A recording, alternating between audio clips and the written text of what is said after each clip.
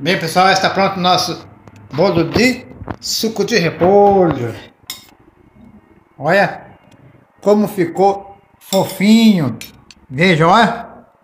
Esse aqui eu vou comer ele com manteiga bem quentinha. Vou derrubar ele aqui, ó.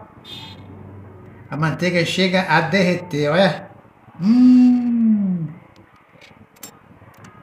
Bolo de repolho, vamos botar aqui. Olha. Macio, com a manteiga derretida ficou mais delicioso, olha. Hum. Olha que delícia, pessoal. Nem parece, né? Inacreditável. Um bolo feito de repolho.